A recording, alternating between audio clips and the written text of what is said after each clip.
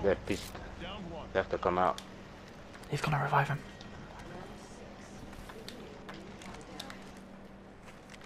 We get some good news.